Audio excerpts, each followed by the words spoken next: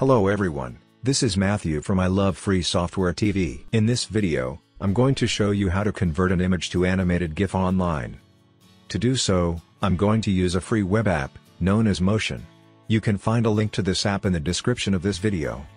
To convert a still image to animated GIF, go to this web app in your browser, and click the Get Started button. This shows you a pop-up to upload your photo.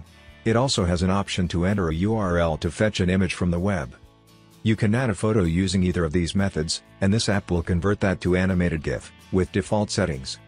It uses geometrical primitives in the GIF, which you can customize with the given options, and personalize the output. You can change the style of geometrical shapes, and select the desired style for output.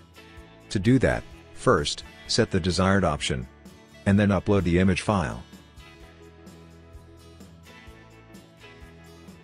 Once you upload the image, this app takes some time to process it, and then, gives you the animated GIF in the output.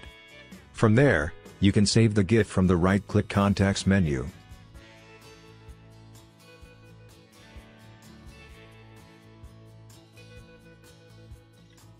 So, this way, you can get a stunning move-in GIF from a still image. If you like this video, hit the thumbs up below and remember to subscribe to this channel for more videos.